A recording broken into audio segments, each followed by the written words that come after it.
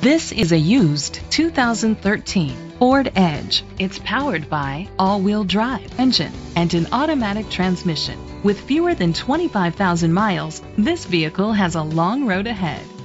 The features include a sunroof, leather seats, Bluetooth connectivity, steering wheel controls, auto dimming mirrors, dual temperature controls, automatic climate control, a spoiler, power seats, cruise control. Safety was made a priority with these features. Curtain head airbags, side airbags, brake assist, traction control, parking sensors, stability control, a passenger airbag, anti-lock brakes, child safety locks.